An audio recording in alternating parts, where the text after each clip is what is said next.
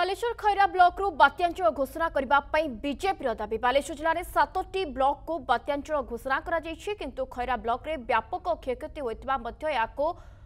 ବାତ୍ୟାଞ୍ଚଳ ଘୋଷଣା କରାଯାଇନି ଖରା ତହସିଲଦାର ଓ ବିଡିଓଙ୍କ ଉଦାସୀନତା ଯୋଗୁଁ ଏହାକୁ ବାତ୍ୟାଞ୍ଚଳ ଘୋଷଣା କରାଯାଇନଥିବା ଅଭିଯୋଗ ଆଣିଛି ବିଜେପି ଆଉ ଏହାର ପ୍ରତିବାଦରେ ଖଇରା ବ୍ଲକ ବିଜେପି କାର୍ଯ୍ୟାଳୟରେ ବିଜେପି ନେତା ପଦ୍ମଲୋଚନ ପଣ୍ଡାଙ୍କ ପକ୍ଷରୁ ଆୟୋଜିତ ସାମ୍ବାଦିକ ସମ୍ମିଳନୀ ଆୟୋଜିତ ହୋଇଯାଇଛି ବାତ୍ୟାଞ୍ଚଳ ଘୋଷଣା କରା ନ ଗଲେ ଆଗାମୀ ଦିନରେ ଦଳ ଆନ୍ଦୋଳନକୁ ଓହ୍ଲାଇବ ବୋଲି ଚେତାବନୀ ଦେଇଛି ଦାବି କରୁଛି ଯେ ତୁରନ୍ତ ଭାବରେ ମାନେ ସେ ଖଇରା ବ୍ଲକକୁ ଇଏ ଅଞ୍ଚଳ ଭାବରେ ଡିକ୍ଲେୟାର କରାଯାଉ